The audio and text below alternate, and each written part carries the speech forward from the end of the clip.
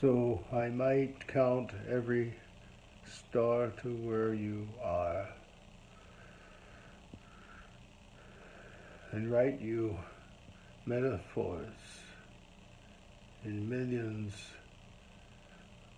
with all the skies.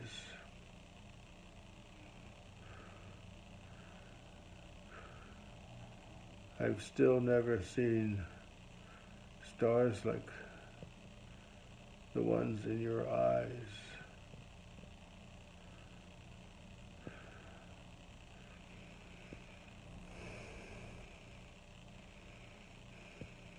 But really, you just need to know I miss you.